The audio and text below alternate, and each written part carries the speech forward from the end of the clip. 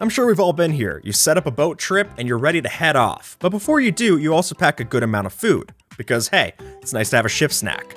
Unless you're taking the food to keep you full where you're going, you're not actually going to lose any hunger in a boat. So don't worry about holding down that right click and instead just focus on rowing.